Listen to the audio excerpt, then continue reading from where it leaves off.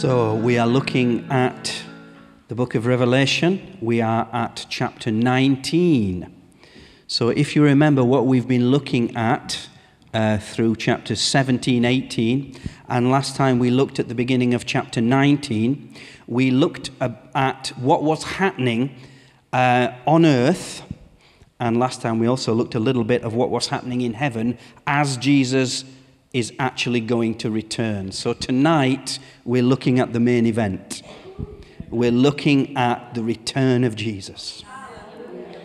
Um, now, last time we looked at all the preparation, the praise as a precursor uh, for a, the preparation, like a prelude to Jesus returning. But if you remember what we've looked at in chapters 17 and 18 of the wrath of God being poured out, you'll remember that at the final bowl judgment, when the, uh, the armies of Antichrist are going to gather at a place called Armageddon, Armageddon, this is actually the point that Jesus returns.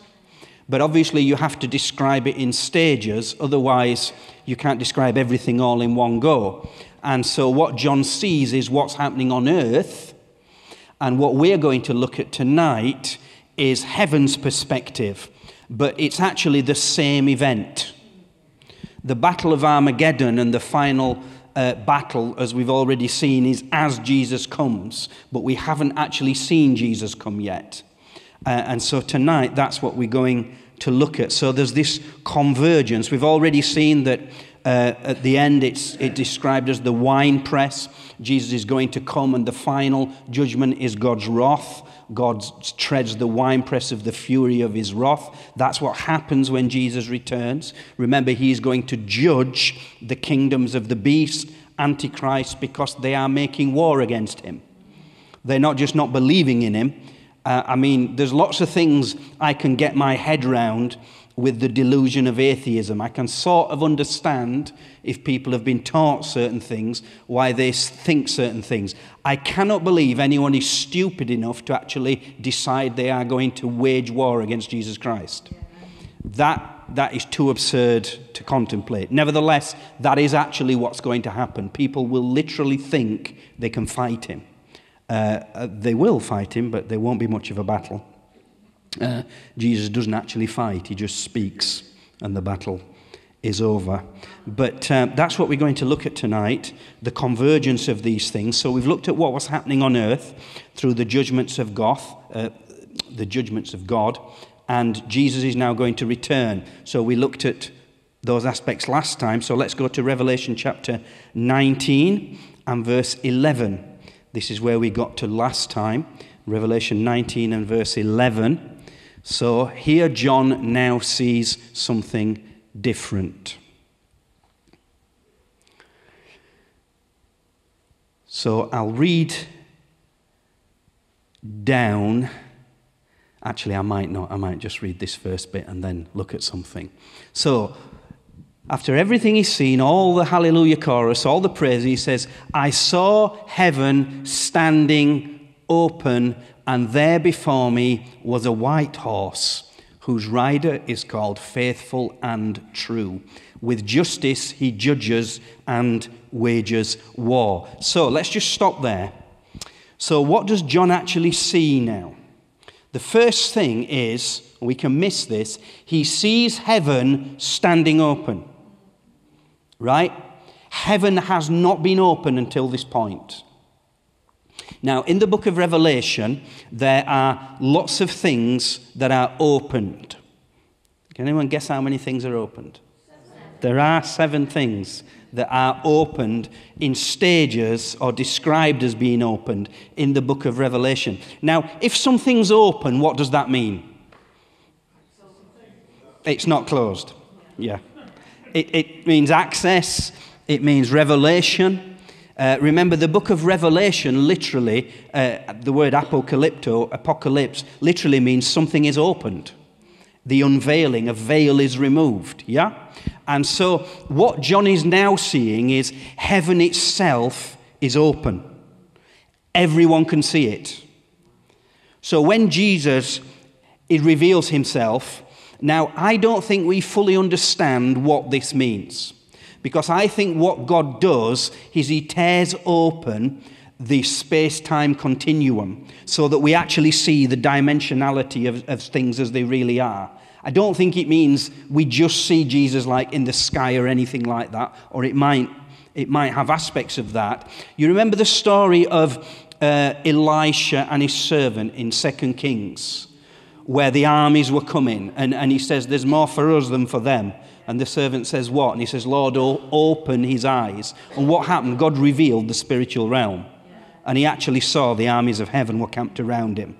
That's why Elisha wasn't scared. Now, one of the gifts of the Spirit is the, the discerning of spirits. And uh, many people believe, I, I, I believe, that actually God, God can give people the ability to see into the spiritual realm. But here, everyone sees it because heaven itself is going to be opened. Literally, you'll see into this other dimension, which even scientists know is actually all around us. We just can't sense it or uh, contact it in any way. So, heaven is going to be opened. But there are seven things, there are stages of things opening in the Bible. This is the final stage. Can we put up that chart, please, Luke? Chart one. So, if you remember when we started, uh, at the beginning of the book of Revelation.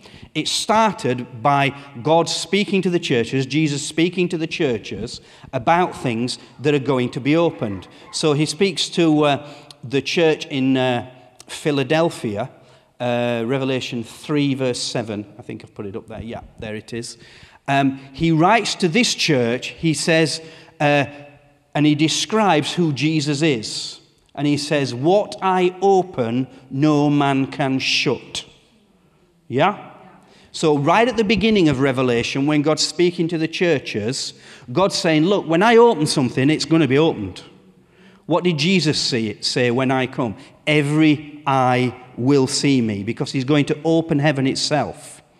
We can't fully grasp this, uh, I don't think the church there fully understood this, but we can understand this on a day to day level. If God's opening something, it's open. No one can shut it. And if God shuts it, no one can open it. Right? When God casts people, uh, the fallen angels, into the, into the abyss, they can't get out. It's shut.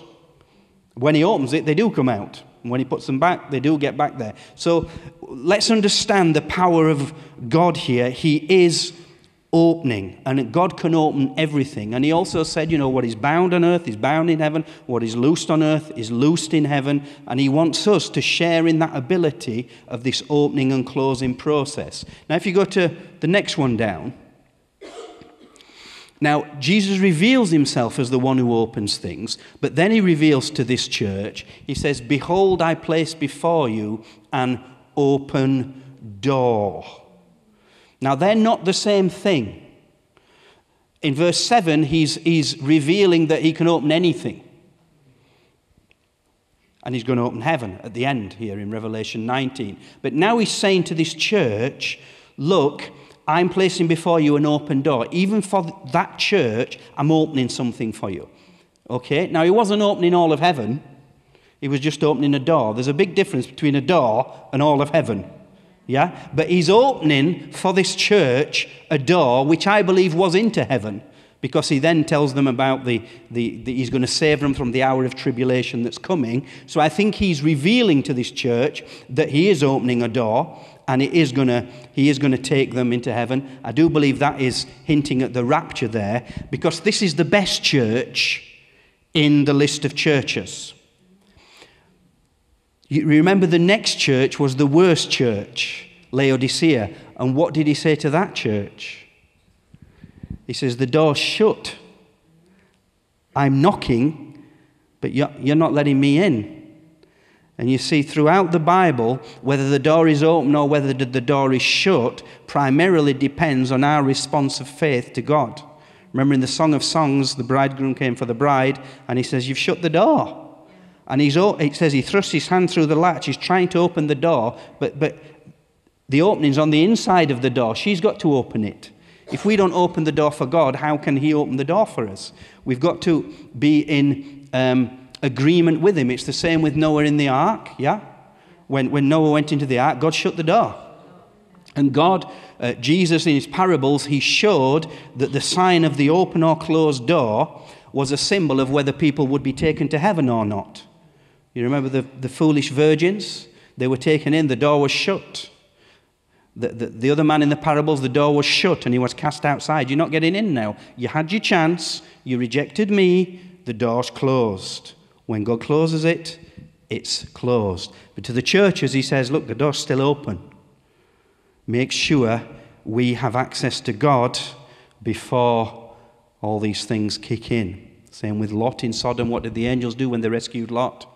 Shut the door. And the people trying to get in, you can't get in now. I'm going to save Lot and his family. I'm not going to save you. The door was closed. It's a, it's a pattern throughout the Bible, the open or closed door. But then you'll remember in chapter 4, when John had seen the church age, when he had seen all the seven churches, then what happened? He saw a door open in heaven. Now, the others don't say a door in heaven. They just say what's one's just a generalization of God opening things. The other one is an open door, but that uh, could, that could have been specific to their situation. But now in Revelation 4, John sees a door literally in heaven opened, and he hears the voice saying, "Come up here." And John is snatched away, harpazoed. He is raptured. He's caught up into heaven, and so the door in heaven is open, but not all of heaven's open. Only John sees this door. Only the churches saw that door. Only the faithful saw that door on earth. But there was access into heaven even at that stage. Even now, God is opening a piece of heaven for the faithful to be caught into heaven. Yeah? So then we go to Revelation chapter 5. And then Jesus opens all the seals. Yeah? Now remember what John said when he saw the scroll and he heard the voice, it says, no one could open the seals. But then he saw the Lamb. The Lamb, as if it had been slain, he is worthy to open the seals. John wept and wept because he realized no one was able to save us. There was no one in heaven, on earth, or under the earth. There was no one to redeem the earth. There was no one to bring in the inheritance of mankind. There was no one to bring salvation and to, to cleanse the earth or bring redemption. He recognized all these things, but there's one who can open things. Jesus can open anything, he can even open the doors of tombs, he can bring out the dead. So Jesus opens the seals. Okay, and I believe the seals, as we looked at, was the, re- the redemption of the inheritance of the earth itself as well as humanity. It represents all those things. We looked at those when we looked at the, the seals. So he opens the seals. We're going to be saved. The earth is going to be redeemed. Jesus is going to sort it all out. But that's not heaven. When the seals were opened, it's everything that's happening on earth. Okay? So then we move to Revelation chapter 11. And then in Revelation chapter 11, John says he saw the temple opened. The temple opened in heaven. Now you've got to understand, um, no one ever saw inside the temple because only the high priest was allowed to go inside. And some of the other priests were allowed to go into the holy place, but not the Holy of Holies. But when Jesus died, what happened on earth? The temple on earth was opened. The veil was torn, the curtain was torn. So on earth, heaven was opened. Yeah, but this is the temple in heaven. The reality of God's presence in heaven. And so John now sees that God is opening up the temple. He's opening up a part of heaven. The temple was where representation of the presence of God on earth, so it must mean the same thing in heaven, the dwelling place of God. So God is in Revelation chapter 11 showing, look, you are having more access to me. But it's still not all of heaven, it's just a part of the presence of God. Only the Levites were allowed in, but God's saying, no, He's bringing us all in. He's bringing us all into heaven, the temple in heaven. Obviously, the church is the temple of God. We've looked at that in the past. And so then you go to Revelation 15. So, what next is opened? The covenant, the, the, the, uh, the covenant law is open, the ark of the covenant on earth, but this is in heaven. And so God is now getting more intimate at every stage. Can you see? First, the, you know, just a generalization of things open, then a door, but not a specific one that we know of. Then the door in heaven, then the seals, now the temple, now the ark of the covenant, the, the covenant law, the testimony of the covenant. Now, if you know the Bible, the one thing you could not open under any circumstances was the ark of the covenant. You, you, you know, whoever you are, whether you're the high priest, whether you're. Uh, just inquisitive and you think, I'll just have a peek, you do not, under any circumstances, open the ark. Have you seen Raiders of the Lost Ark? Okay, even Indiana Jones, he's a Jones, so he knows this. You do not open the ark. You remember the story at the end of Raiders of the Lost Ark? I can't believe I'm quoting Steven Spielberg. But Steven Spielberg's Jewish. He knew the Bible. And he knew it's a, it's a wonderful end to the story because when the Nazis are going to open the ark, what does Indiana Jones do? Don't look. He tells his girlfriend, Marion, don't open your eyes. And she's going, why? He's like, just do what I tell you. Do not look inside the ark. We, uh, we downloaded that video when we went on holiday to Menorca, and Jemima watched it on loop the last five minutes. She loved the Nazis melting as they looked inside the ark. you don't look in the ark. It's totally biblical. You know, you know the story of the ark when it was captured by the Philistines and some of them they looked inside and God killed them. You do not look in there. But what's happening as we get towards the end? God opens the ark. The presence of God. In the last days I will pour out my spirit on all flesh. But God's presence was in the ark. He, he was seated above the cherubim of the ark of the covenant, the, the mercy seat there. But God is opening that. But that's not all of heaven. So then you get to Revelation chapter 19. What we've just read, God is going to open all of heaven. You're literally going to see straight into the spiritual realm. Now, is that a good thing? Well, it depends who you are. Now, we rejoice when we read Revelation 19. We see, John sees heaven open and he sees a sight that just blows his mind. He sees the Lord coming. But remember, those on earth say, Hide us from that.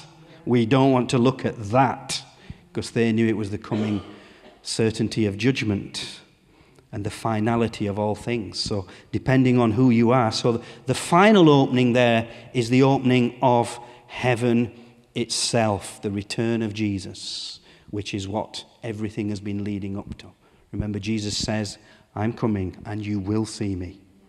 He said it over and over again. So it's all going to be revealed. Now, we should know this because that's what the book of Revelation means. Everything's going to be revealed. So heaven itself is going to be revealed.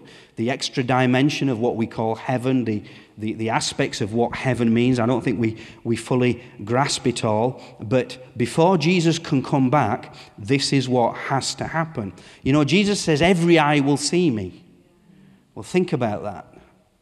You know, depending on which way the earth's facing, you know, if you're in Australia or if you're up in North, uh, the Northern Arctic near Canada, where is Jesus so everyone can see him? Because not everybody can see the same piece of space at the same time.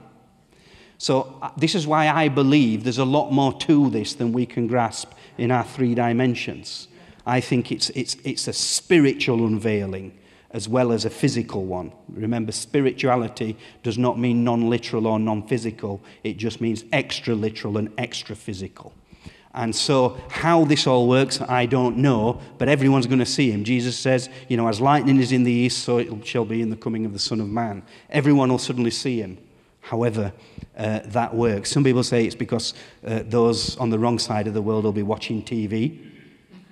Well, that, that, might be, there might be some truth to that, but I, I, think it's a lot more emphatic than that. I think somehow everyone will see uh, the appearance of Jesus, okay? So let's go back to Revelation 19 then and verse 11. So this is what's happening. Heaven is going to be opened at this point.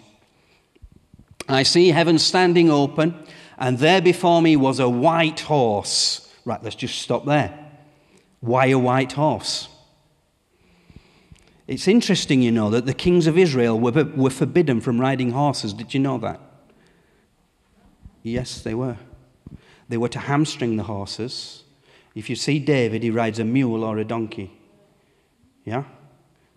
It were only after Solomon's time that they broke the Levitical prohibition on the kings of Israel riding horses because God knew there's only one person riding horses, and that's the Messiah who comes into Jerusalem. And, and that was such a clear thing. And I, I know I've said this before, but when General Allenby of the British Army in 1917 entered Jerusalem, he got off his horse because the British uh, ambassadors and the, the hierarchy says you do not ride a horse into Jerusalem. Only the Messiah does that. And we are not saying that the British general Allenby is the Messiah. So get off your horse. And he walked in, something that a conquering general would never do. He walked in because they knew that Jesus enters Jerusalem riding a white horse. Why a white horse? You see, in Revelation, there's five things that are white. Five is the number of grace. And so each of these things that are white is showing us that God has given us the fullness of grace. He's, he's given us the fullness of everything that is represented by white. I'm sure you, you know what the white things are. The clothing, for a start, Jesus gives us white clothing. Yeah? He's going to sit on judgment on a white throne. Yeah? It says his hair is white. Yeah, white like wool. Hair is a sign of someone's glory. The glory of Jesus is white, totally pure, totally holy. He's coming on a white cloud. So he's coming with people that are white. He's riding something that's white. He sits on something that's white. All these things are white. He looks white. Uh, obviously, no racial connotations here. That's, that's a total fabrication by sociologists. We're talking about uh, the symbolism, symbolism of white in the Bible. And it says, those who believe in him, he gives them a white stone. What does that mean? Well, there's five white things, the number of grace. He gives us grace. Grace to be holy and pure. It's not something we can earn by ourselves. It's something given to us by the grace of God. So when he came the first time, he came on a donkey. Be told your, your, your Savior comes riding on a donkey to fulfill the prophecies, uh, but the second time he comes on a white horse. But there's already been someone come on a white horse. Who was that? The Antichrist. You remember when the seals were opened? Antichrist fabricates the coming of Jesus. He comes on a white horse. He pretends he brings the answer to man's problem. He's going to sort out the earth. And remember, the earth accepts him as the Messiah, or most of the earth. They accept him as the false Messiah. They think he's the real Messiah. No, this is the real one. And there's no comparison. The false Messiah has one crown. This Jesus has many crowns. We don't know how many, perhaps hundreds of millions. We don't know how many crowns he has because everyone casts their crown at his feet. So he has all these crowns. Okay, so I saw heaven standing open, and there before me was a white horse whose rider is called Faithful and True. Okay, now, once again, the, the, the names of Jesus in the, in the Bible, especially in the book of Revelation, are always giving an indication, a denotation of his character. Now, he's faithful and he's true. Okay, now, Guess how many times he's called true in the Bible, or the word true occurs in Revelation? It is seven. Well done, Will. You're on form tonight. It's seven times in, in Revelation we find this word true. Now, what does true mean? Jesus is called faithful and true. Yeah, I don't think we really know what truth is. We're so bombarded with people claiming to tell us the truth, and we find out it's not. We often relegate truth to just someone's opinion. Oh, that's just your opinion. You can quote the Bible at someone who'll say, Well, that's just your opinion. Jesus is truth. If you want to know what truth is, you look at Jesus. Jesus says, I am the way and the truth and the life right? Jesus would often say, uh, now depending on which Bible you have, uh, Old King James would be verily, verily. It means truth, truth, true, true. And modern translations, uh, they say, I'm telling you the truth, but it's actually truth stated twice. Jesus is saying, I'm true, true. Do you understand what truth is? When Jesus stood before Pilate, And he says, Everyone on the side of truth listens to me, I'm true. And what did Pilate say? What's truth? Do you know why he said that? Because he's a politician. Politicians don't know what truth is. You know, they'll say one thing and do another. They'll give you a vote on one thing and then refuse to ratify it. Yeah, oh, oh, well, no, you've not told the truth. You said this, you've done that. You're not truthful. You've not told the truth. And, and truth is a commodity that is so prized when you realize how hard it is to get at it. You know, you can't watch the news and get the truth. You'll get, their, you'll get what they want to tell you. They might not even tell you some stuff that's happening. They're, they're more likely to tell you what their agenda is. They actually, they actually frame the news. They, they make events happen rather than just reporting on what's happening. So we're surrounded by it. You can't believe what you read, what you hear, because it all comes with these political and philosophical agendas. The only way to get truth is through Jesus and His Word. His, Jesus says, My Word is truth. So, He's called faithful and true. So, Jesus says, I am coming back. Is that true? How do you know?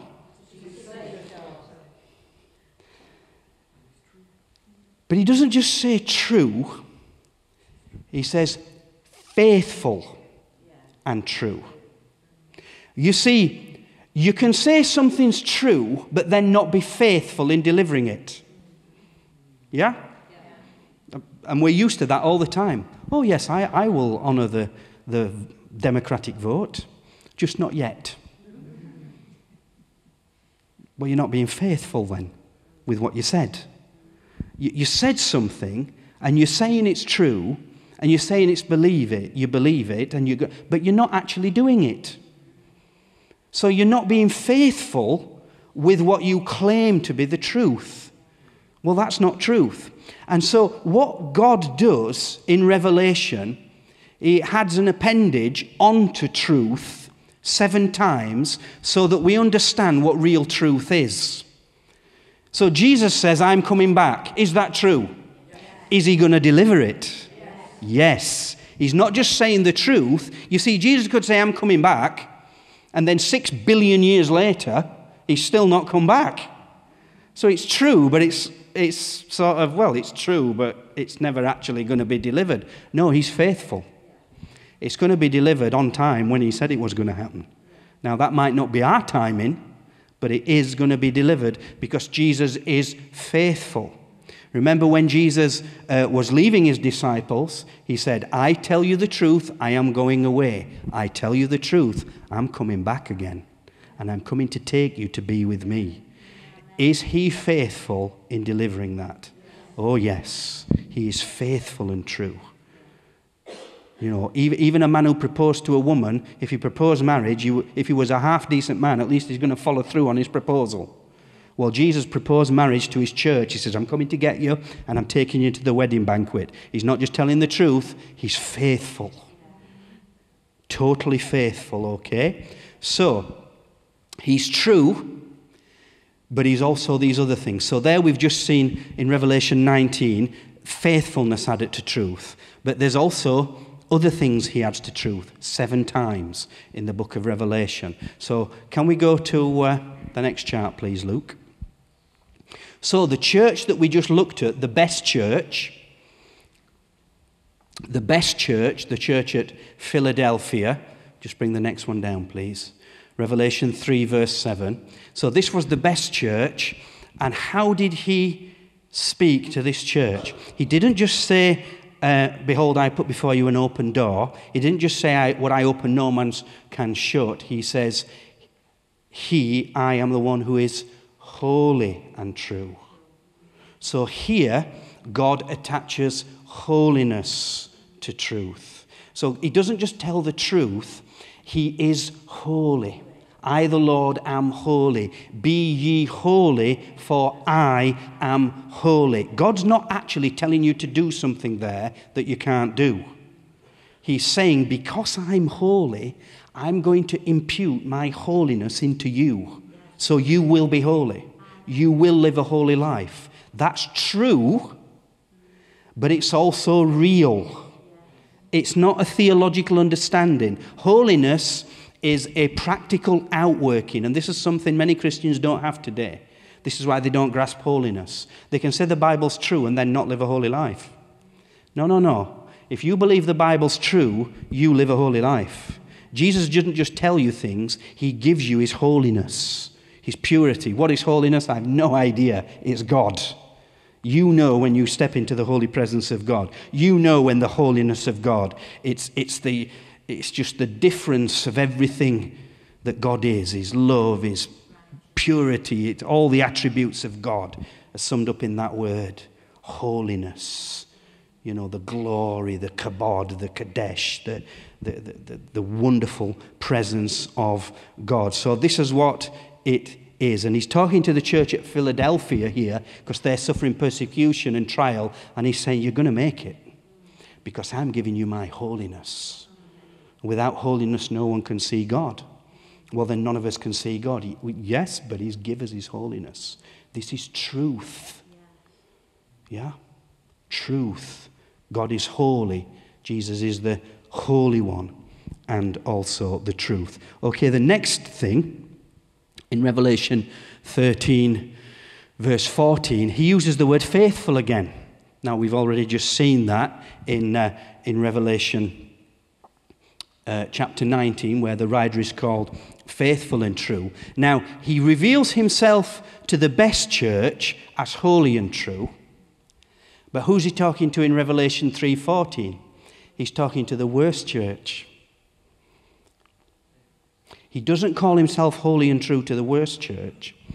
To the worst church, he calls himself faithful and true. Why? Well, because they weren't being faithful. And what's Jesus showing them? He's saying, look, they claim to believe the truth, the church at Laodicea. Yeah, we believe the truth. Yeah, but they weren't being faithful with it. They certainly weren't being holy. And you see, Jesus saying, look, I'm faithful even when you're not. You might not be faithful, but I am. I'm going to keep my word. I'm knocking at the door. I want to take you to be with me, but you're not being faithful. And we read that in the New Testament. Even if we are faithless, he will remain faithful because he cannot deny himself. Right? Faithfulness is who God is. He doesn't just tell the truth, he will always be faithful in delivering. He says to the church at Laodicea, I am the faithful witness. You see, they weren't being faithful witnesses, they were just living for themselves. They weren't being witnesses at all, they were just living their own selfish lives. But Jesus says, I'm going to be a faithful witness. You'll find out everything I said was true, and I was faithful in delivering it. Okay, next one, Revelation chapter 6 and verse 10. Now, here he uses the word holy again. He links holy to true. Remember, we're looking at this word true. Jesus is the true one, but he links it to different attributes so that we can grasp what truth is. When you get close to God, what do the cherubim and the angels, what do people say? Holy, holy, holy. They don't say truth, truth, truth. They know it's true, but now they appreciate God's holiness. So, a greater revelation of his holiness as you go through Revelation. The next one, in Revelation chapter 15. So God here reveals Jesus as true once again, but here it says just and true. Just are his ways. Different Bible translations might use a different word. You see, sometimes we know what God says is true,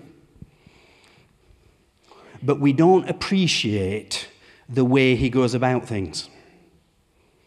Just are your ways, we read there. Righteous are your ways in some versions. You see, as a pastor, I come across this all the time. You'll, people will say this to me What you said was true, but you shouldn't have done it like that.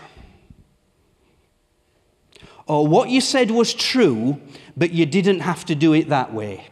Or, I don't disagree with what you said, but I disagree with the way you did it.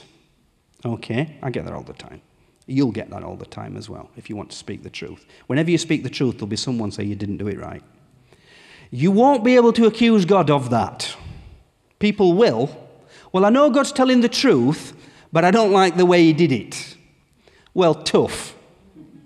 Because God is not just true, He's just. And just and righteous are his ways. It said the way God does it is the best way to do it. Now, if we had been, now we can think that once again, just as a, you know, an abstract thought, but just imagine if you were following Jesus every day on earth. Think of some of the stuff he did. I mean, you, you may very well have been tempted to go, hmm, did we really need a whip in church today, Lord? I know what you said was true, but did you really have to go up to that bloke and kick his table over? Did you really have to throw all that money on the floor? Did you really have to open those cages and let that man's doves appear? I mean, a whip. He might, come on, he's got a whip. He walks into church with a whip. Second Indiana Jones uh, reference tonight. Right, I'm sure there were some of his followers going, Well, I know what Jesus said is true, but I'm sure there was a better way of doing it than that. And you can say that for a lot of, you know, some of his preaching. I'm like, I'm sure you didn't have to be, I mean, you really offended them by speaking like that. Couldn't you have just said it a little bit nicer? No. Not only does he tell the truth, his ways are just. And what Jesus is coming to do when he's bringing truth on earth in Revelation 19, he's doing it the best way it can be done. It's no good mankind and secular humanism saying, well, I can't accept a God that will bring judgment. Well, he is, because he has to, because it's the only way of saving the planet. There is no other way at this point for God to do this.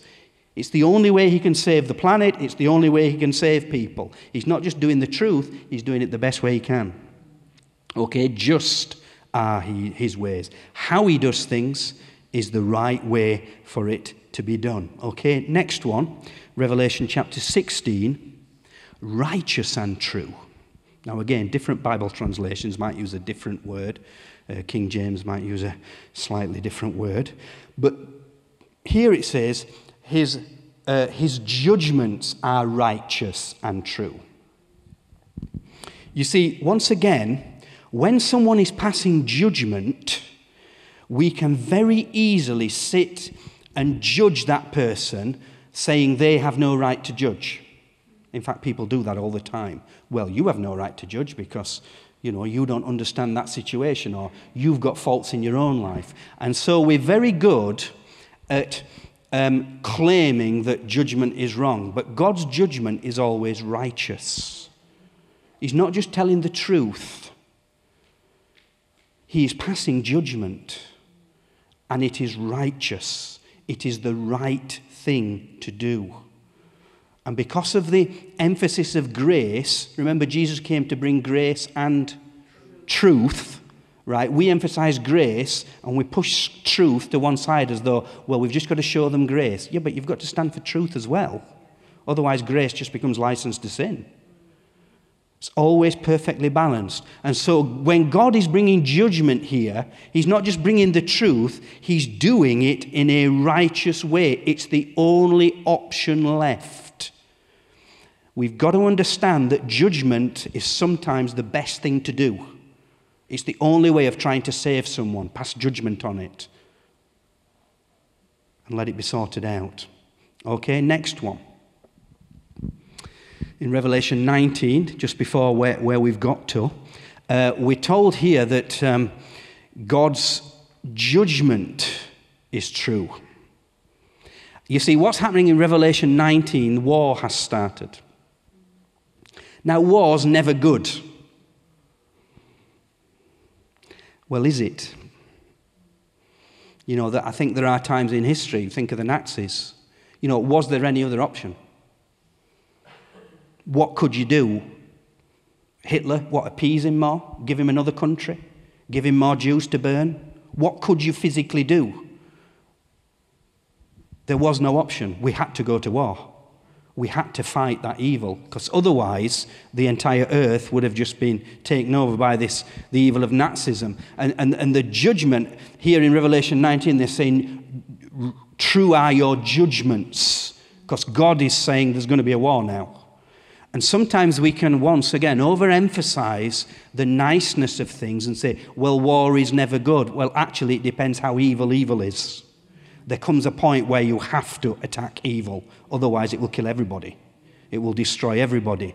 And God's judgment of this final conflict that comes here in Revelation 19 is going to happen. And here he's passing judgment on the Babylonian system that is killing people, destroying people, persecuting people, worshipping Satan himself. And God's saying, Right, I'm coming to sort this out. There's going to be a big fight. And that is a truthful thing and a right judgment. God has to do it. It's not an arbitrary opinion, it is truth that God passes his judgment and he condemns Babylon there, uh, as we've already read previously. And then we get to Revelation 19:11, which is what we've just read. Jesus, the rider on the white horse, is called faithful and true again. So he uses the word faithful again, and it says, with justice he wages war. Remember, Jesus has said this is going to happen. It's not just truth, he's going to be faithful in delivering it. It's going to happen. So, there we've got the seven aspects of truth in Revelation, all linked to something tangible, something real, something practical, something that we must lay hold of, not just truth as an abstract thought, but truth as a living reality that God is going to fulfill. So, he's going to bring he's going to bring this war. That's why the rider is coming. So, uh, how many times do you think war is mentioned in Revelation? Six. Who said six? No, it's seven. It is seven, yeah. It's seven. It's always seven, Will, except when it's not. It's always seven, except when it's another number. But it's nearly always seven unless it's pointing to a, another aspect. But it is, it is seven. Now, again, why is it seven if seven's perfection? Well, we tend to think of war as bad, and primarily human war is always bad. But you've got to remember, uh, it is going to end in a war. There is going to be a battle. God has said this very clearly uh, all the way through the Bible, and here Jesus makes it emphatic. So let's go back to uh, Revelation 19 and verse uh, 16 sorry, verse 11. Revelation 19 and verse 11. So I saw heaven standing open, and there before me was a white horse whose rider is called Faithful and True. With justice he judges and wages war. He doesn't wage war in any old way, he does it with justice and with correct judgment. So, what is happening in Revelation? To look at these wars, seven times the word wars mentioned here. Can we go to the next chart, please, Luke? So, war in Revelation. So, first aspect of the war in Revelation. Revelation 12, verse 7, it says, There is war in heaven. Okay? Satan, the dragon, fights against Michael and his angels. Satan, the dragon, and his angels fight against Michael and his angels. So the first time we see war, war's already occurred in heaven. Yeah, before war on earth has happened, there's, always be, there's already been a rebellion in heaven. You remember we've looked at the three rebellions. There's the rebellion of Satan against God. There's the rebellion against the fallen angels against God, and then there's the rebellion of mankind. When there's rebellion, there's always going to be a war. Always. That's what rebellion is. And so, because these rebellions happen, there will be wars. Satan rebelled against God in heaven, so there's going to be a war in heaven. Now, who does Satan the dragon fight? It's up there.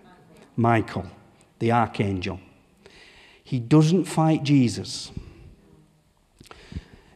Don't think for one minute that Satan against Jesus would be a fair fight.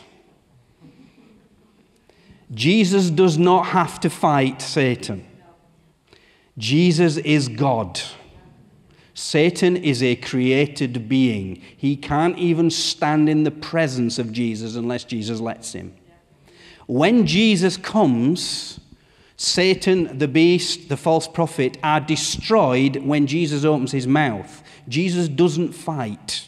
I know it's a war, and I know there's going to be a battle, and there's this thing happening. But don't think, some people think like it's Satan against Jesus as like a boxing match. There will be no contest. Jesus is God, right? Michael fights again. It's, it's an angelic battle. Okay, the angels of righteousness against Satan and his angels. Don't think it's God fighting Satan. God doesn't have to fight anybody. He just speaks and everything vanishes. He just speaks and everything's created. Don't diminish God's power by thinking he has to have a fisticuffs with a dragon. He doesn't. It's Michael, and that's on that's in heaven. Okay? Next one, the next time war is mentioned. Now, this is a war, but this one is on earth. Okay, so the war starts in heaven, but Satan's cast to earth, so now he brings war on earth. Okay, so now the dragon wages war against the woman. So, what's happening now? Satan has to persecute those who belong to Jesus or those who believe in Jesus. Now, we looked, when we looked at this in Revelation chapter 12, it's not the church. The church has already been caught to, caught to the Lord at this time. This is the believers on earth, primarily Israel. Remember what happened in Genesis chapter 3 back in the garden? When Satan tempted the woman to rebel, God said, I place enmity between your seed and her seed. They will continually be at war. Satan's war is always on the promise of God. He hates the church, he hates Israel, he hates women. Now, if you don't know the history of mankind, you do not know there's been a war on women. Satan's strategy is to destroy women, to, to, to manipulate them, to control them, to put them down, because he knows life is birthed through women. Right? Men can't birth life, women birth life. And so his plan has always been to destroy woman. And he uses religion, he uses culture, he uses politics, he uses all these things to de- try and destroy the woman because he knew that the Messiah would be born of a woman, not born of a man, born of a woman. And so everything the woman represents, and we've looked at that uh, over time, that's why Jesus always lifted up women. Yeah, he rebuked men, but he wouldn't let women be rebuked. Have you ever noticed that? Because Jesus knows the, re- the real essence of the war. He knows the woman represents his church. So even when a woman should have been stoned to death, Jesus says, No, you're not. He lifted her. He told her not to sin, but he says, I don't condemn you because he knew there was a war on women. Right? Even when the disciples were, were uh, criticizing Mary for pouring out the, you know, the, uh, the ointment, the, the perfume on Jesus. What did Jesus say? Leave her alone. She has done a beautiful thing for me. Jesus would not wage a war on the women because he knew what the women represented. Satan's the opposite. He wants the women to be oppressed and put down because he hates women because they are a picture of God's people, the church. And that's why false religions will always oppress women, make them cover up, give them no rights. They're not even fit to drive. They can't do anything. They can't vote. They're not allowed to read. They're not, all, all these restrictions on women. It comes from the satanic enmity that was, a, that was there right in the garden. Satan's war is on women. But it's, it's the dragon. So it's the, it's the symbolism of what this means as well. That the woman represents the bride of Christ, Israel, as well and the dragon, obviously, the symbol of Satan. Okay, so that's the second war. What's the third war? Uh, the third war is in Revelation 13 and verse 4, and this is where uh, the beast attacks all the nations of the world. He conquers the world. So he literally wants to be the dictator, the, the ruler of the world, and so he wages war on earth. These, these are on earth, and he controls the world through warfare. He becomes the superpower of the day, if you like, just like the Antichrist empires throughout history have always sought to control every nation, whether it was Rome, whether it was Babylon, whether it was Persia, whether it was Greece, whether it was Egypt, whether it was the Assyrian empires, all these empires in the Bible, they wage war to create domination over God's people. Antichrist will be the same. He will, it will be done through coercion and power. So the next one, the next war, the fourth one, This is the beast again. Obviously, these are all Satan. You know, Satan, the dragon, the beast, they're just different manifestation of Satan's system. So the beast here uh, wages war against Israel. So once he controls the nations, he is going to get the nations to attack Israel. Okay, now if you can't see that now, I don't know what planet you're on. The nations increasingly are focusing their powers more and more, more of them each year that passes against Israel. Why? Because the war has always been against Israel. The, the essence of Satan's hatred is anti Semitism. There, there has never been a, a year in human history where anti Semitism is not expressing itself in some way. There's no other nation that is hated. Anyway, you could add all the nations together, they're not hated like Israel's hated. Because it's a spiritual reality. It's Satan working through whatever nation, whatever religion, whatever system. Here it's a world system. We've got to attack Israel. It's the essence of anti Semitism. And if you tolerate anti Semitism, they'll hate the church as well. It's the same spirit. Anti Semitism is the same as Christian hatred. People who hate the Jews will also end up hating the church if they don't already, because it's the same satanic spirit. So, war against Israel. I don't know why they do, because they always lose. Because God said Israel's always going to exist. But even towards the end, when the climax reaches its fullness of these wars, there's going to be an all out assault of all the nations of the world against Israel. That's when Jesus is going to return. Okay? So the next one, which we've already looked at these, there's the ten horns of the beast wage war against the lamb. Now, the ten horns, as we saw, are the ten nations, the ten primary nations that Antichrist is going to gather to wage war against the lamb himself. So once he's got anti Semitism established, he then can bring direct anti Christian because the Lamb is obviously Jesus, the Messiah, he can, he can persecute believers in Jesus even if they're not Jewish or belong to Israel. So he's going to get the nations of the world to literally wage war against any form of Christianity. So the world is, is going to make it illegal to be a Christian. Now we can see that now in many nations, in fact, the biggest nations of the world are already doing this right now. China, the biggest nation in the world, it's illegal to be a Christian. You know, you, you, the government will persecute you and do all kinds of horrendous things. I don't even think we know the totality of what China is doing to believers, but uh, it's part of the Antichrist system. Okay, so we've got these. Now, the next one is where we've already got to in Revelation chapter 11. Okay, so once this has reached its climax, the, the, the war in heaven, the war on earth, the, against the woman from the dragon, against Israel, against all the nations, against Christians himself, Jesus now wages war. But it is a retaliation and defense. He's not attacking because he wants to invade and annihilate and control. He now has no option. If the earth is going to exist, he has to wage war against Antichrist. Remember, Jesus says, Unless I cut short those days, no one would survive.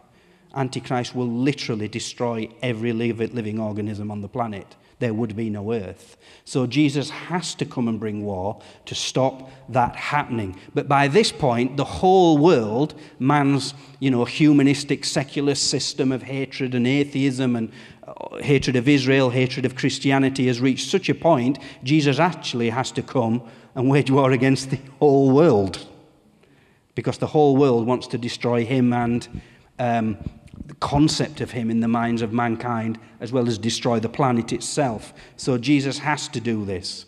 And then in Revelation 19, the next one, Revelation 19, there's the war mentioned again, but this time it's not just Jesus, it's the armies of heaven itself. And we'll look at those in a moment. And that final war, what we call the Battle of Armageddon, when Jesus returns is against between all the children of Satan, the kings of the earth, and the children of God, the armies of heaven. Once again, it's the battle there uh, is won by Jesus speaking, but he still has an army with him because the army means more than just uh, uh, military might. It's obviously his bride, his family, who are with him. Okay? So he brings his people with him there. It's interesting when Jesus stood before Pilate, and Pilate was saying, You are a king then.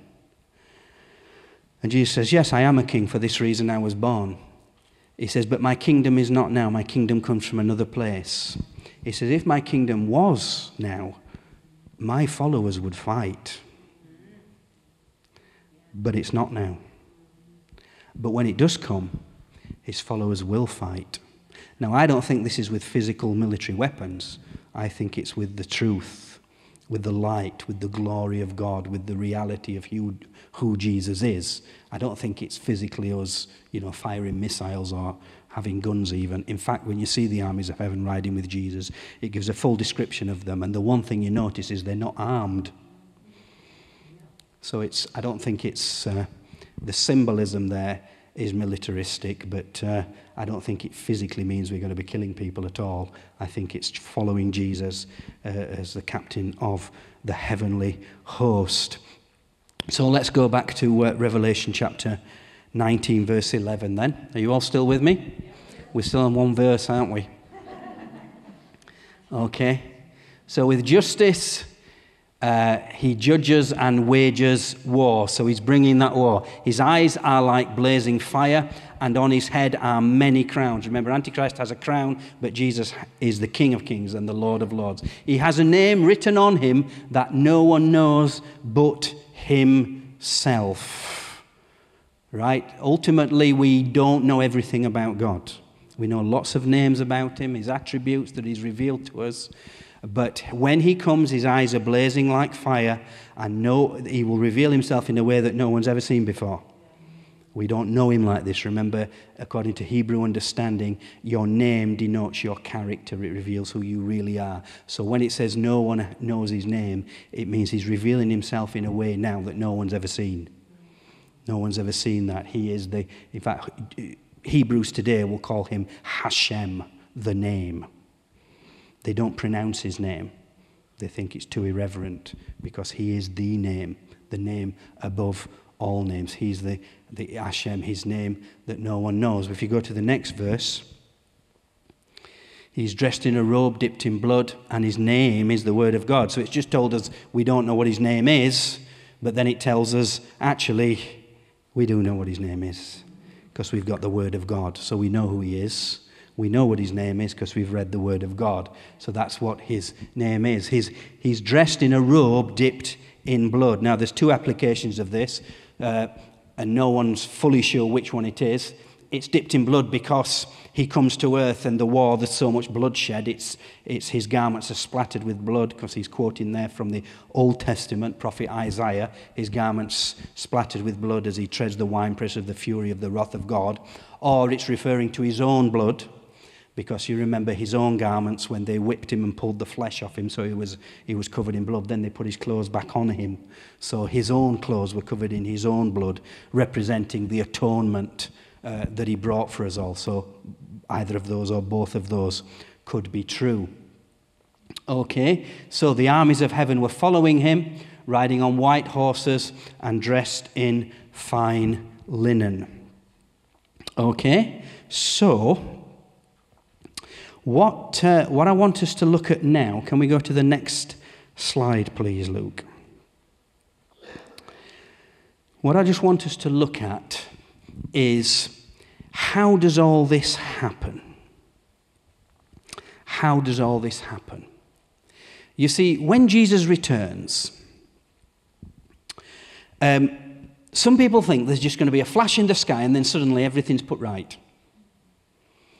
And that's not what the Bible shows us. The Bible shows us there is a very clear process, a very clear process through which Jesus is going to return. And this process um, covers lots of different aspects.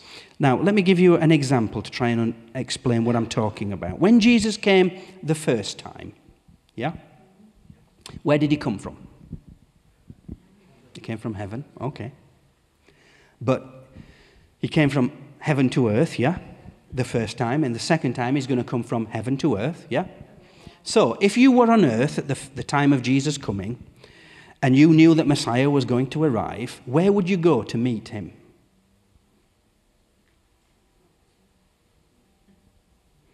It's not a trick question.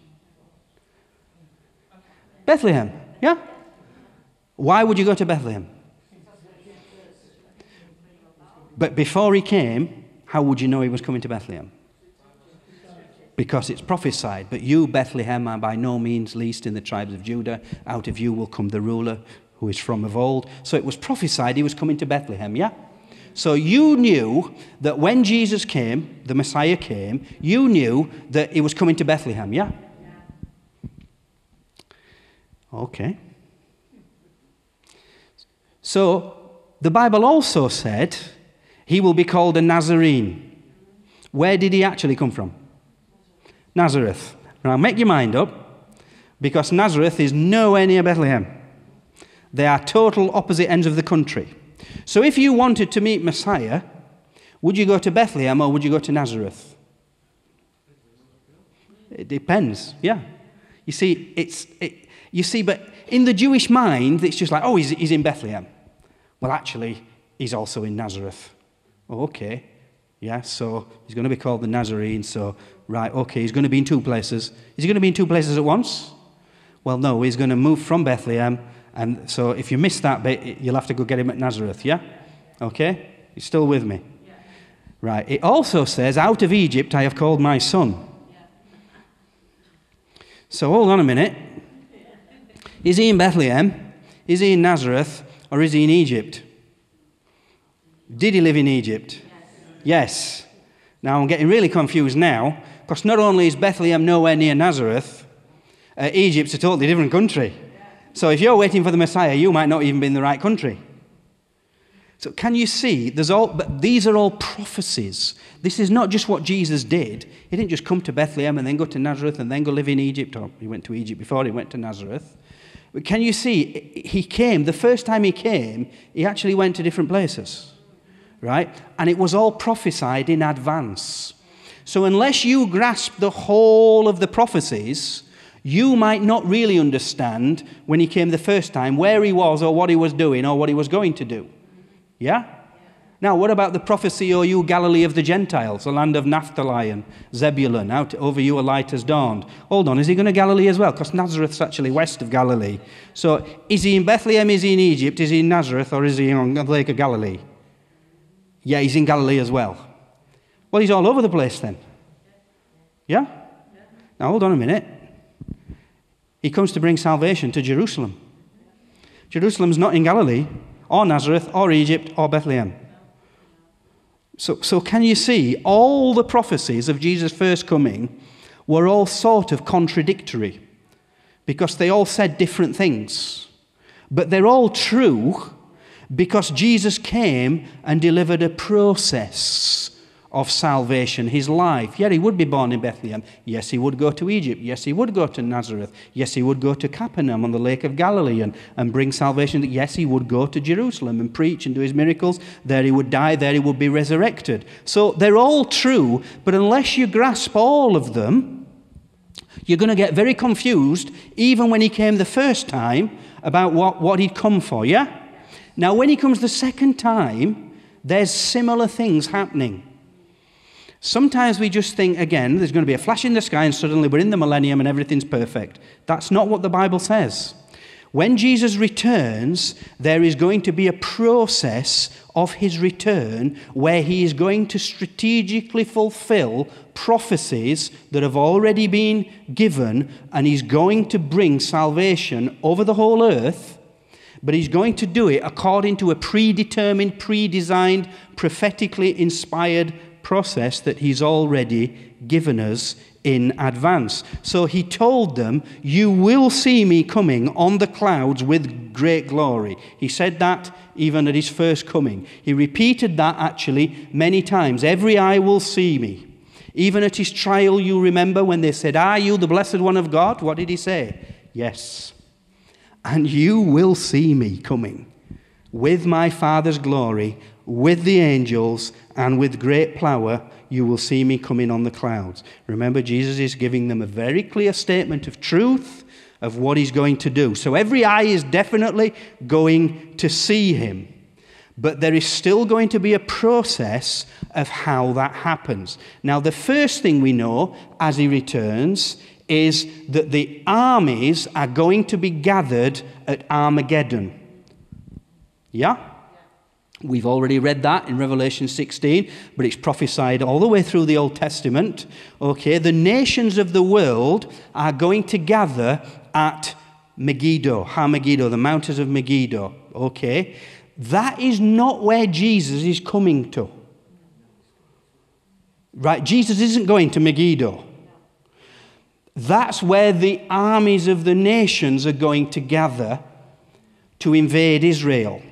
It's not the objective of Jesus. Although there is going to be a battle there, that's not where Jesus is going. Um, now, I suppose one of the best examples would be D Day and the Second World War, yeah?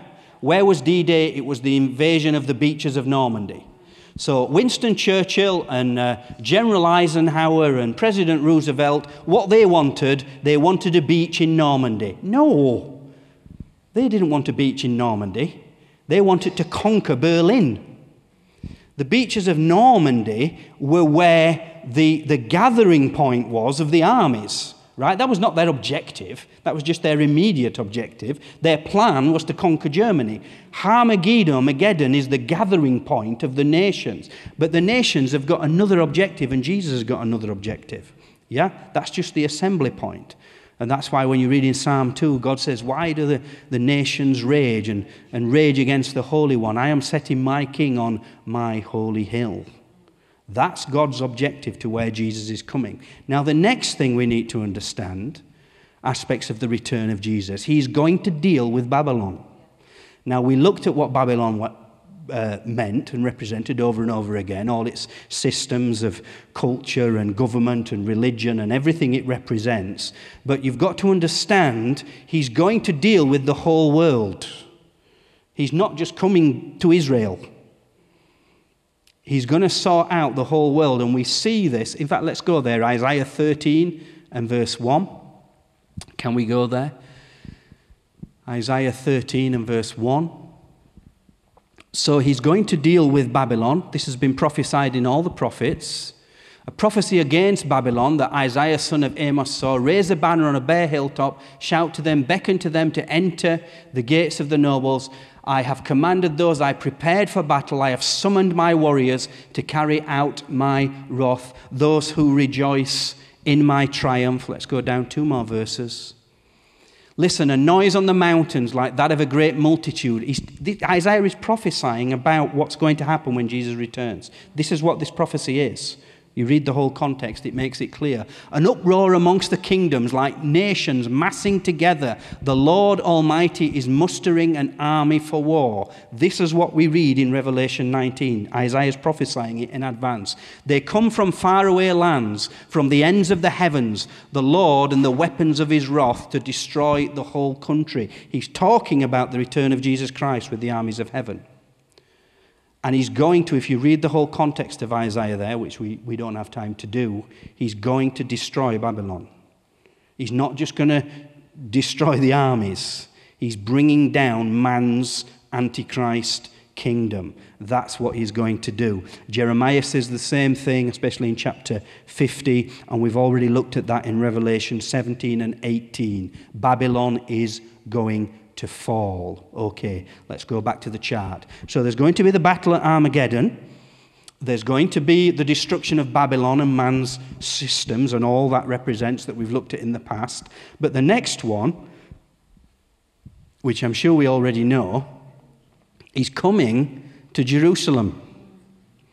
That's the primary objective. That's the bullseye on God's timetable, but it's also the bullseye on Satan's plans. That's why the United Nations does not want the Jews to have Jerusalem. Because when the Jews have Jerusalem, Jesus can come back.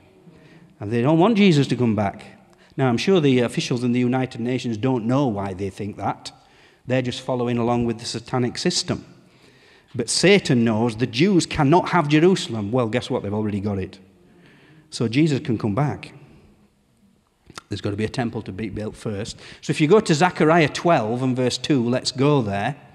So this is the process that Jesus is going to follow. Now, I think I put it in the right order, but it's debatable whether this is the exact order. So there's going to be Armageddon. He's going to deal with Babylon. All this is as he returns. Now he says this this is Zechariah prophesying what's going to happen when uh, the Lord comes, the day of the Lord. I am going to make Jerusalem a cup that sends all the surrounding peoples reeling. Judah will be besieged as well as Jerusalem. The armies are going to invade Israel, the armies are going to invade Jerusalem.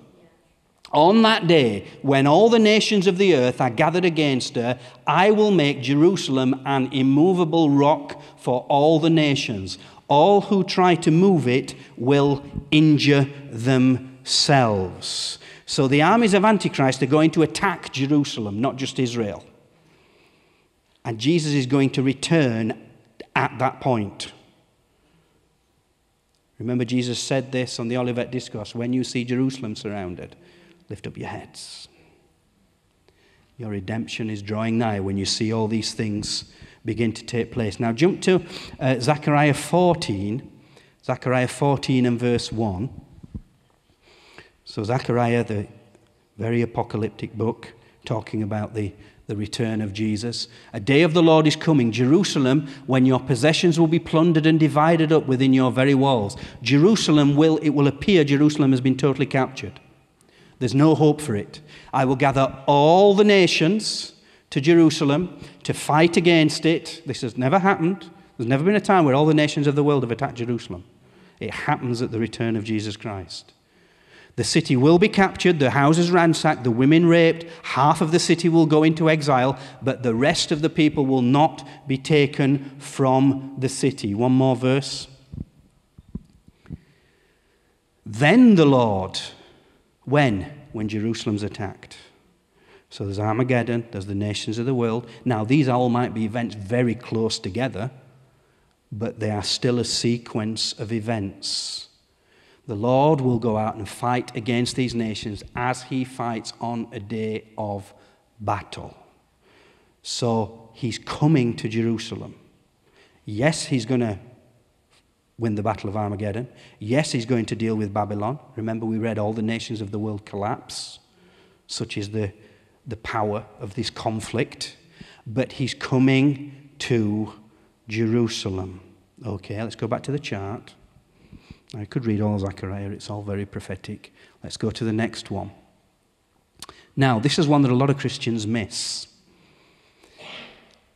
When he comes, and he, he does the first three, as we understand, there is a continual prophecy in the Old Testament of God going to Bozrah. And what does that mean? Do you even know where Bozrah, Bozrah is? Bozrah uh, is uh, today southern Jordan. In biblical times, it would have been in the, the, the territory of Edom, Esau. Um, remember what we looked at when we looked at Antichrist uh, attacking Israel? There was one nation that Antichrist couldn't attack. Well, there were actually three nations Ammon, Moab, Edom. Today, that is all one nation. It's the nation of Jordan. Bozrah is in Jordan. Remember, Jesus says, when you see the armies, those who are faithful flee to the mountains of Jordan. Now, in the first century, that's exactly what the Christians did. When the Romans came, those who believed, when they saw the Romans coming, they fled to Jordan, what is modern day Jordan.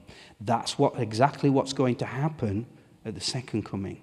The faithful remnant escape from Jerusalem and go to what is today modern Jordan, Moab, Ammon, and uh, Edom in biblical times. Now, if we go to Isaiah 63 and verse 1, can we go there? Now, Jeremiah talks about this, Micah talks about it as well, uh, but a lot of people in their understanding of end times and eschatology sort of miss this bit out. But Jesus is going to do this. Now, if you think about it, If, when the armies of Antichrist attack Israel and come to Armageddon and Babylon takes control and they attack Jerusalem, those who are faithful, who have become believers and are believing what Jesus says, they're not going to stay there, are they? They're going to run like Jesus told them get out to the mountains. Yeah? And remember, it's in the Jewish context. Pray this does not happen on the Sabbath. Yeah?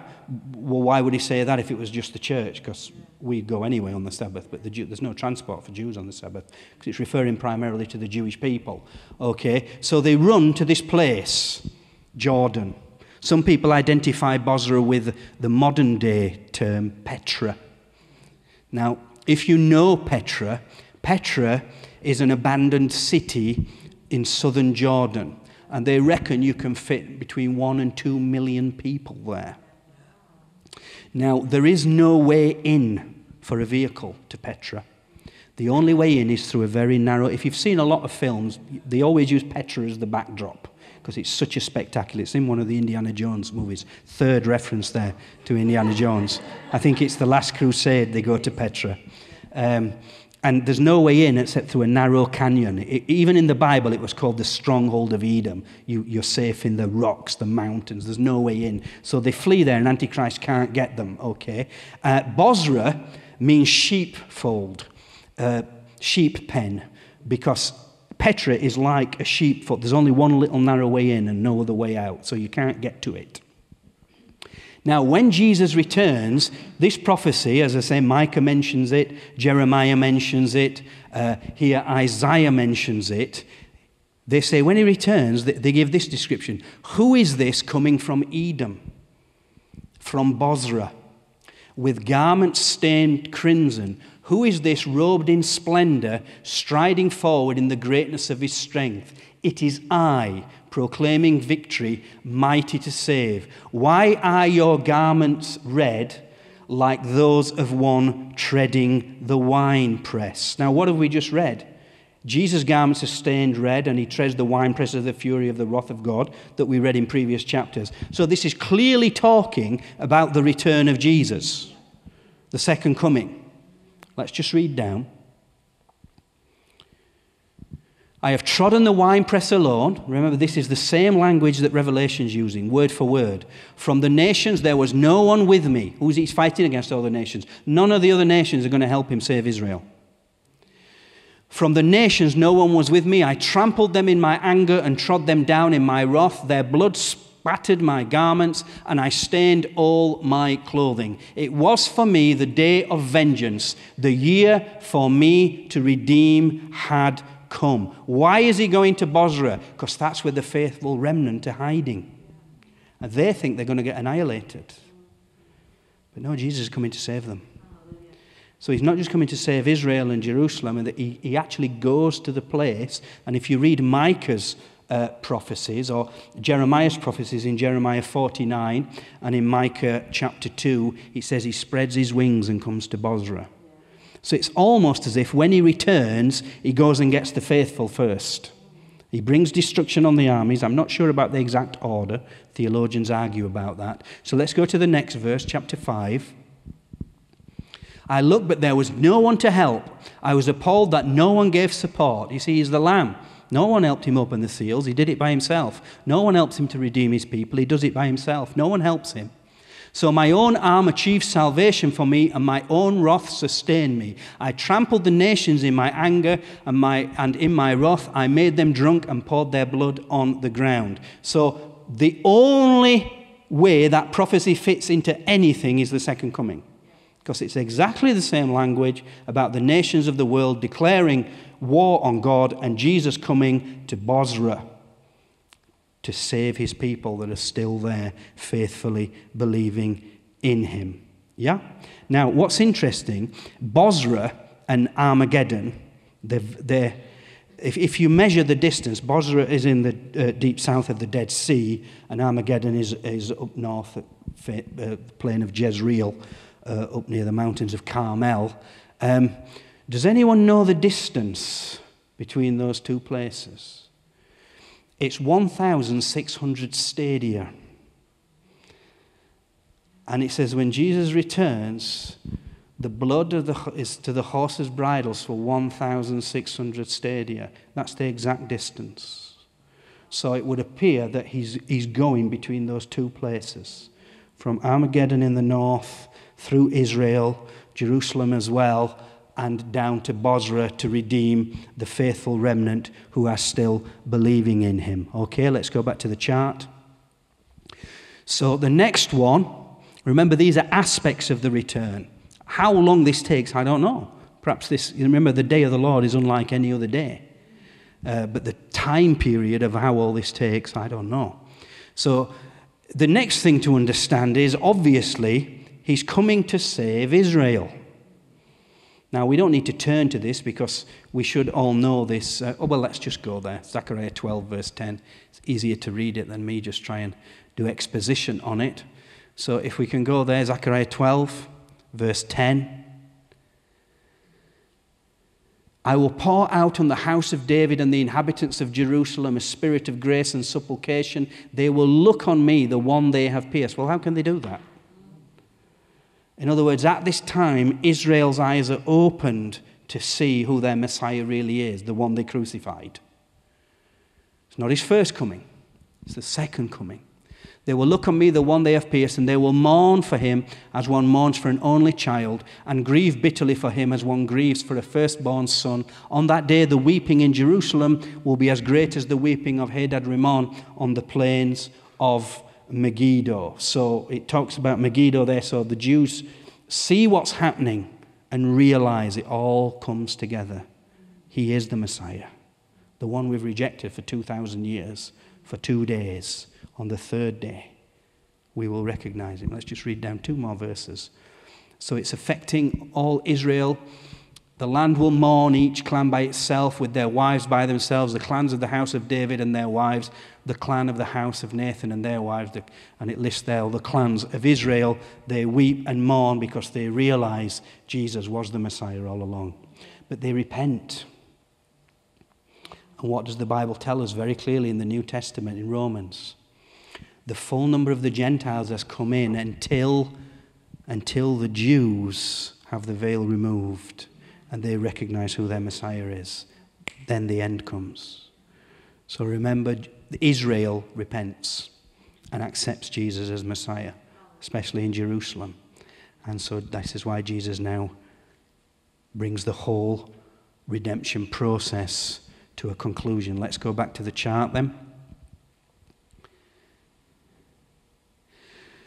So he's doing all these things when he returns. So I think, you know, there's a process, a logical format that he's following. The next one, which is one we all sort of know, he then comes to the Mount of Olives. Okay, Zechariah 14, verse 3, let's go there. Zechariah 14 and verse 3. Why does he come to the Mount of Olives? Because it's already been prophesied that's what's going to happen.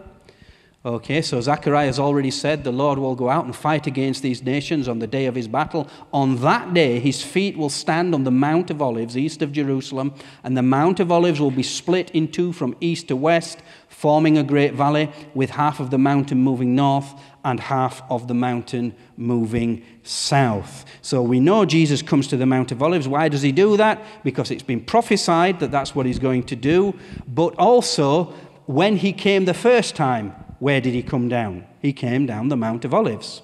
When some of them proclaimed him as king, you know, and said, Hosanna to the Son of David, what was he doing? Coming down the Mount of Olives. On our Israel trips, we've walked down the Mount of Olives, down the, the path that Jesus walked down. But what did he say? He wept over Jerusalem at his first coming and says, If you had known the time of your visitation, if you'd known who it was that's really here, but now it is hidden from your eyes. You will never see me again until you are ready to say, Baruch haba b'shem Adonai, blessed is he who comes in the name of the Lord. So when they say that, when they confess who Jesus is, he comes. Where does he come? To the very place they rejected him, to the Mount of Olives. And what did the angel say when Jesus ascended? Where did he ascend to heaven from? From the Mount of Olives. And the angel said, The same Jesus who you saw ascend will come back in exactly the same way to the Mount of Olives. And that's when the earthquake happens and the mountain splits and the topography of Jerusalem and the world as we know it really starts to change. That's why geography in the end times doesn't make sense to us because the earth itself is going to be shaken in a very different way. Let's go back to the chart, go to the last one then. So there's also what's called the valley of Jehoshaphat. Jehoshaphat. Now, this is basically the Kidron Valley at the bottom of the Mount of Olives. The prophecies of Joel, we don't need to turn to it, but, but God says He's going to bring all the nations into judgment in this valley. Now, the Kidron Valley is a very long uh, valley, and God is going to judge them. Now, uh, Jehoshaphat means Yahweh judges. So that's why it's called the Valley of Jehoshaphat. And when the earthquake happens, this valley appears to get a lot wider, and God is going to judge all the nations on how they treated Israel, or believers in general as well. And he's going to bring judgment on everybody. Everyone is going to give an account of what they have done. That's why in uh, Matthew's Gospel, in Matthew chapter 20, yeah, 25, he says, When the Son of Man comes in all his glory, he will divide the nations as a shepherd divides the sheep and the goats. And what will be the criteria of how he judges? Remember, he's already taken the church. What will be the judgment criteria? Whatever you did to the least of these, my brethren, you did to me. Who were Jesus' brethren? The Jews. We often misapply that statement as though anybody is the brethren of Jesus. Now, I know there's a spiritual application there, and if you love a child, you're loving Jesus. I accept that. But literally, the application would be how have the nations of the world treated the Jews? Because the sheep and goat judgments of Matthew 25 are actually judgment on nations of whether, they've been friends of Israel or not. That's really what Jesus is talking about primarily. There is a spiritual application to us all, I accept that. But that's what he's going to do bring all the nations into judgment. And I think that's probably the closing act of his return. All the other aspects will have been fulfilled, and then he's going to bring that judgment. Now, this could be quite a long period of time.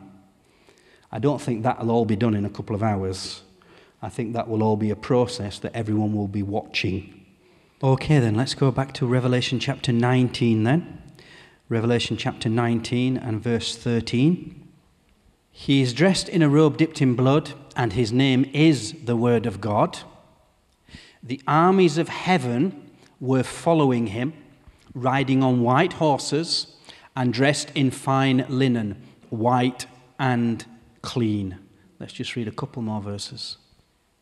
Coming out of his mouth is a sharp sword with which to strike down the nations, a sharp two edged sword, the gladius, uh, two edged sword. He will rule them with an iron scepter. He treads the winepress of the fury of the wrath of God. Remember what we've just read in Isaiah? So that this is the only way it fits in with the prophetic fulfillment fury of the wrath of God Almighty. On his robe and on his thigh, he has this name written King of Kings and Lord of Lords. Now, we might miss the imagery there. When you're riding a horse, you would have your banner hanging on your from your saddle over your thigh. So that's what it means, his banner on his, it doesn't mean it's written, he's got a tattoo on his leg. That's not what it means. It means, it means he carries his name, his banner of King of Kings and Lord of Lords. The Lord is our banner, remember. Yahweh Nissi is one of the names of God, King of Kings and Lord of Lords. So we know he's coming this. Um, just read one more verse, I suppose. No, we'll not, we'll not read that. Let's go back. So, who is with him?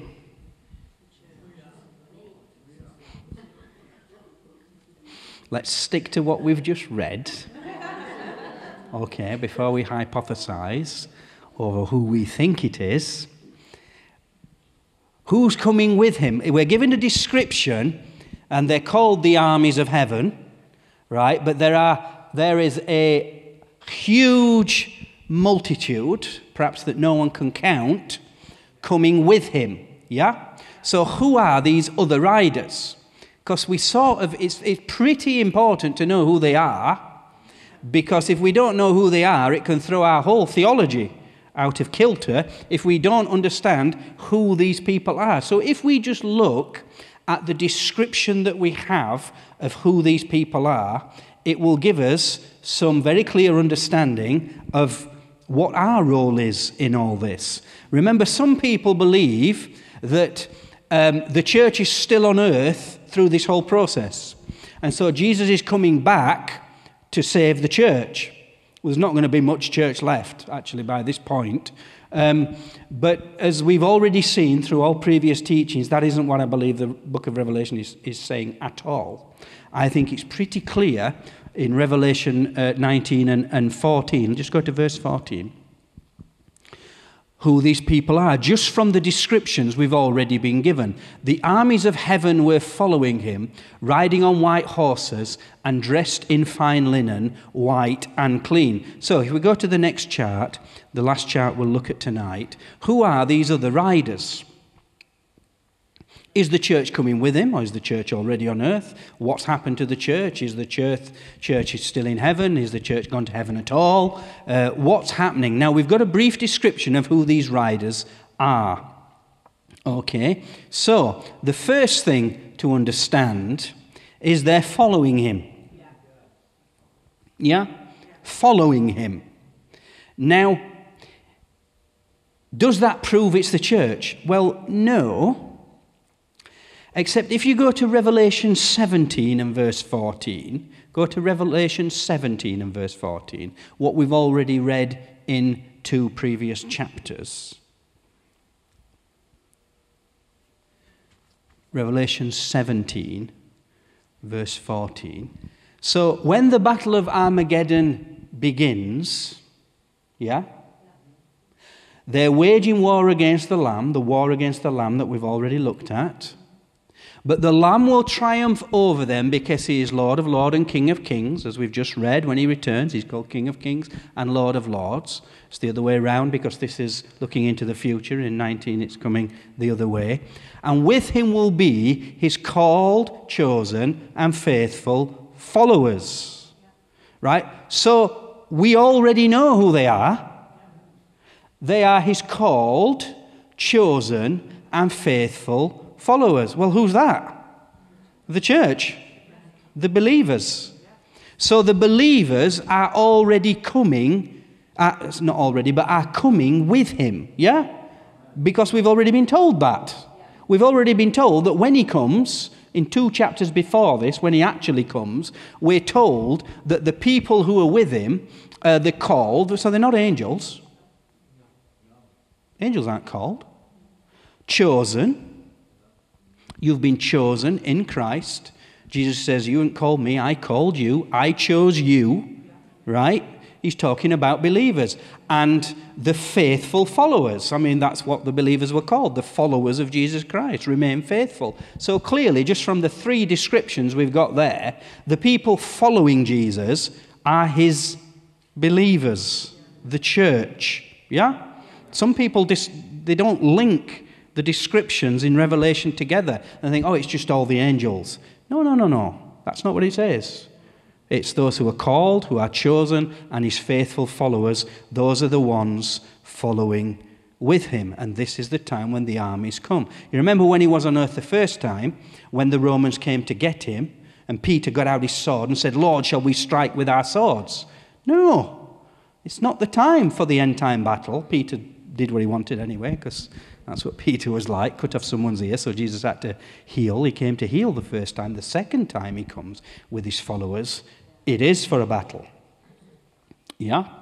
So let's go back to the chart go to the next one that'll help us understand who these uh, people riding with him are. So the other riders, they're called the army of heaven, coming to fight with their Lord. Now remember, we've already looked at this, so I'll not turn to it. When Jesus stood before Pilate, he says, If my kingdom was of this earth, if my kingdom was coming now, my followers would fight. But now my kingdom comes from another place. Jesus says, My kingdom's coming from another place at another time. Right? But then they will fight.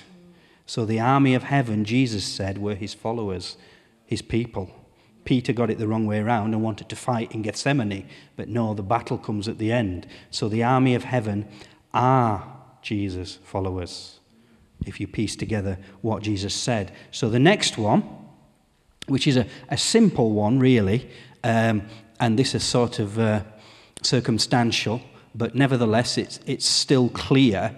They are seated when they're coming with him. Now, the Bible tells us we are seated with Christ in the heavenly realms.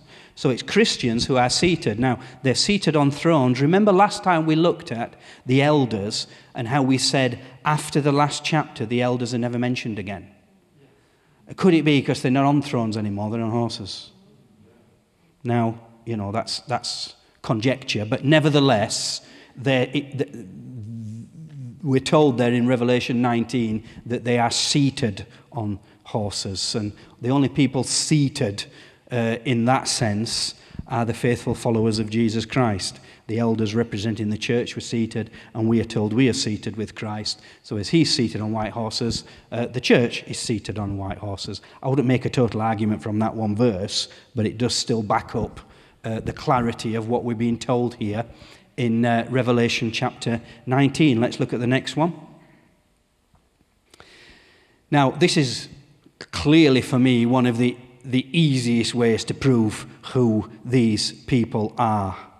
They are clothed in what? White garments.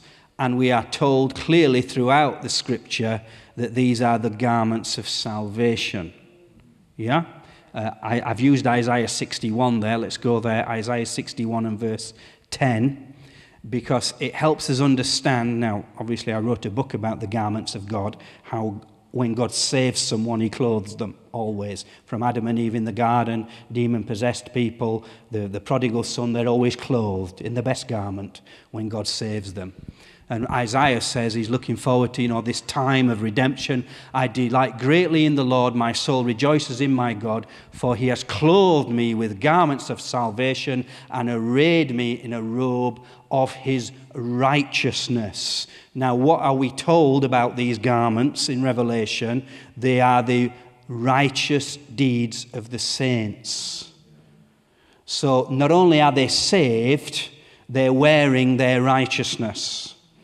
So it has to be the Christians, it has to be the church, because they're the only ones clothed in that. They're only, only the church is clothed in salvation. Angels aren't.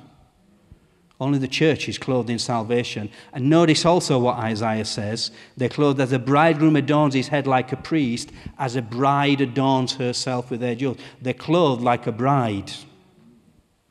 Yeah? So they're clothed in this white linen. So if we go back to the chart, in Revelation 19 and verse 7. Now, we've already been told. This is what happens when people just read bits of the Bible without reading it all at once. Go back to Revelation 19, verse 7, which we looked at last time. Revelation 19 and verse 7.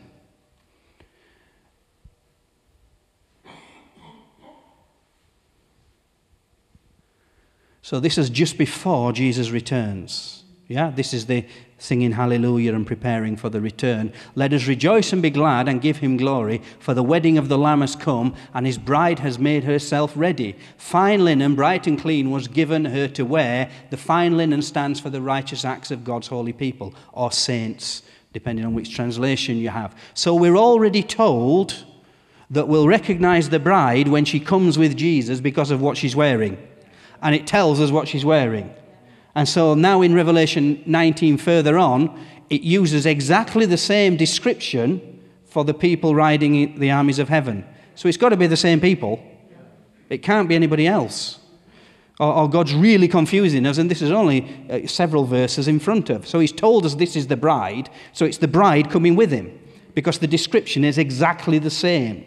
Yeah? So it's the bride who is coming with him. She's already been identified. It's God's holy people. The bride, his army, his people, the saints, the ones who belong to Jesus, who he has already taken to him. Okay, let's go back to the chart. So, why do so many people think it's just the angels coming with him? Well, there's good reason for that because Jesus does say that when he comes, he will bring the holy angels with him. So the angels do come with him, but the problem really is our defect in what's called angelology. We, we often have a wrong understanding of what an angel actually is. And this is throughout all Christianity. The obvious one is everyone thinks angels have got wings, despite the fact that nowhere in the Bible does any angel ever have wings. But every Christmas card and, every, you know, Gabriel turns up with his huge wings. And the first thing I'd say is, You're not an angel, you've got wings. Um, but we, we've got it so embedded in our psyche that we just, you know, we've got all these pictures from the Renaissance and all this beautiful art. But angels don't have wings, not in the Bible. Cherubim have wings, not angels. But what actually is an angel?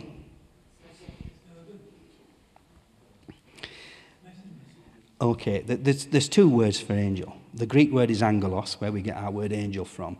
The Hebrew word is uh, malak. So the book of Malachi actually means angel, written by an angel. Did an angel read, write Malachi? Well, yes, but not an angel that we think of. It was a person. Can a person be an angel? Yes.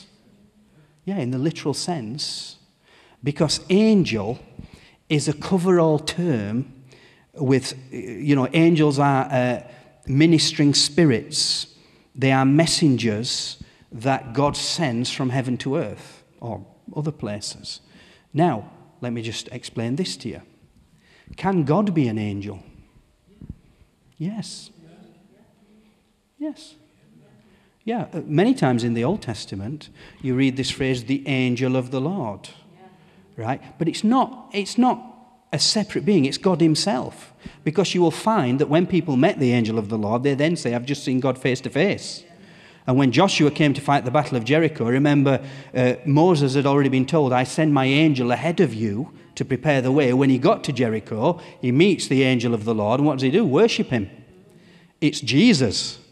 Jesus, it's a Christophany or a theophany. It's a pre incarnate representation of Jesus appearing. But it's called the, the angel, the malach, or the angelos in the Septuagint, the, the, the angel of the, the Lord. But it's God. And you'll, you'll notice in the New Testament, that the resurrection and different places, sometimes people describe as seeing men, and sometimes they describe as seeing angels. Um, well, which is it? Well, people thought angels were men anyway. You know, a Lot in Sodom and Gomorrah, they, they said the men, they didn't call them angels.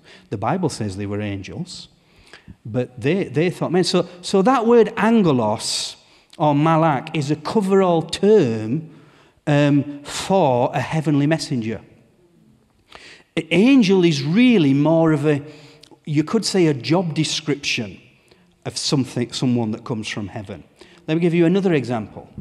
Satan, Lucifer, he was a, a, a, cherub, a cherub. We've seen that from the prophecies of Isaiah and Ezekiel, yeah?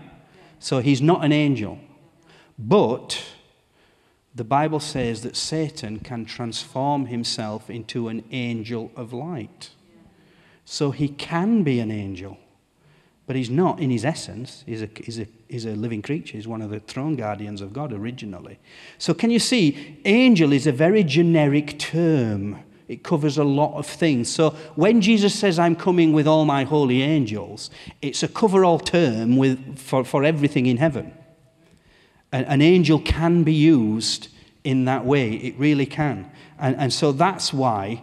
Um, there can sometimes be confusion when you think of just an angel as just one specific thing. Now, the angels that fell in Genesis chapter 6 aren't called angels, they're called sons of God, Benai Elohim.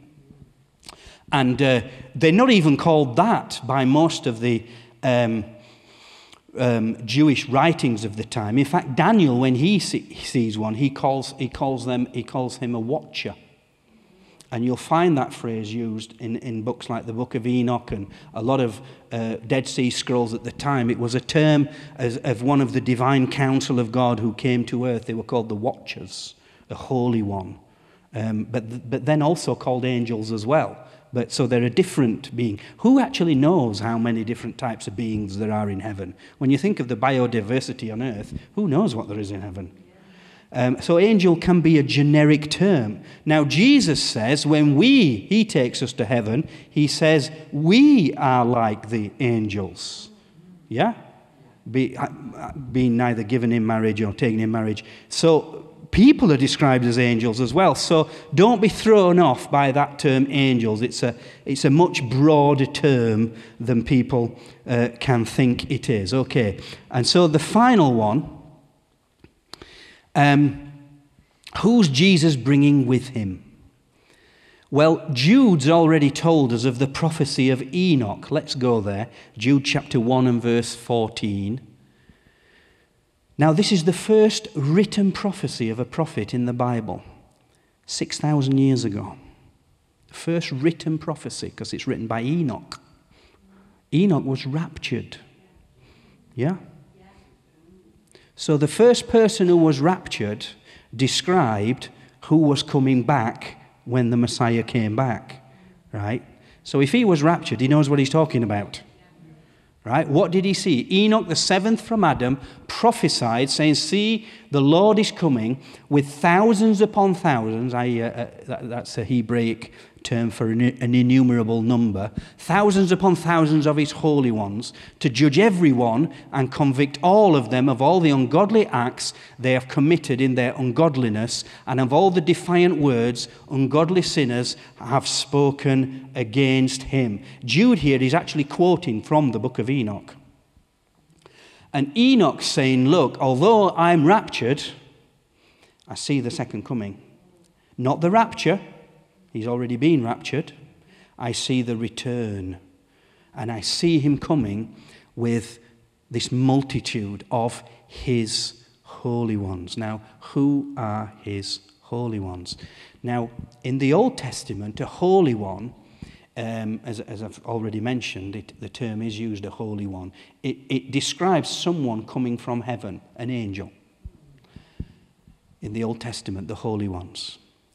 In the New Testament, it describes Christians. We are God's holy ones. We are the ones who come out of heaven. We are his saints. Yeah?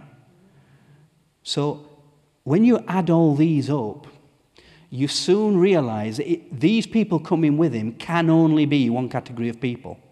It's the only one that makes any sense. It's the same in the Old Testament. The sons of God, the Benai Elohim, referred to the angelic, it referred the angelic order of beings, those in heaven. Not in the New Testament. In the New Testament, who are the children of God? You. We, this is what Paul's trying to get over. Do you not know you will judge angels? Do you not know you are called to be God's children? So these are the holy ones. The holy ones is his church, his bride, those clothed as, as his bride. It's the only category that fits. Okay, and this is one of the greatest arguments for people who say, you know, no one goes to Jesus until his second coming. That doesn't make any sense. Because when he comes, he brings his church with him.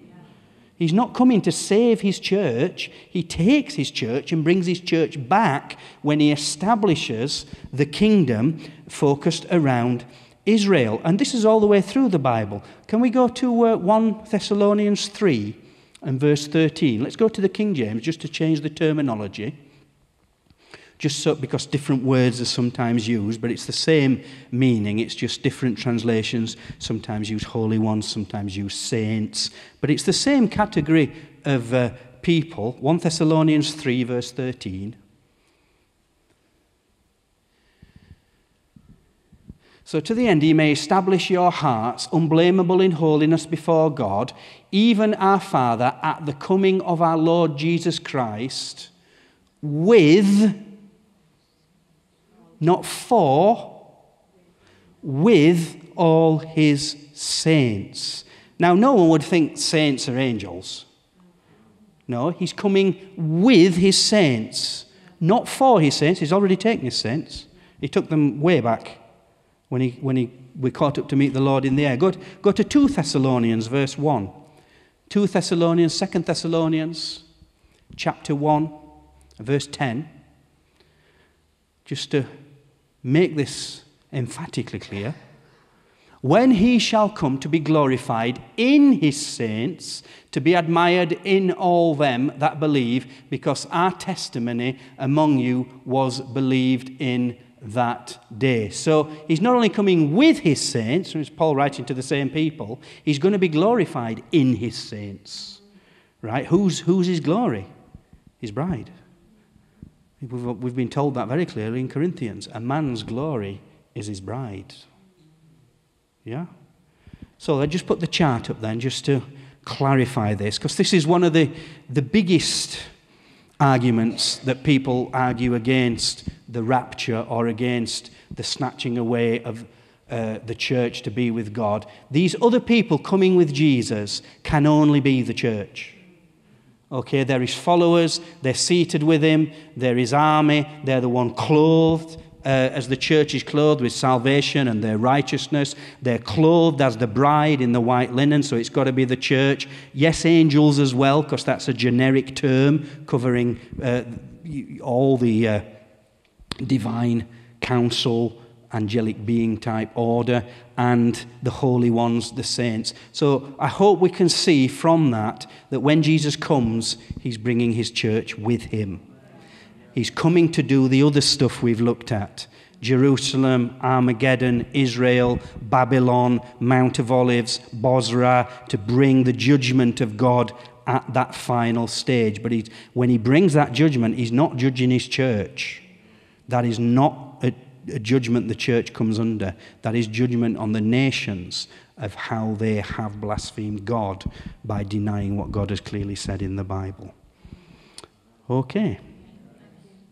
Well, God bless you. We'll finish there.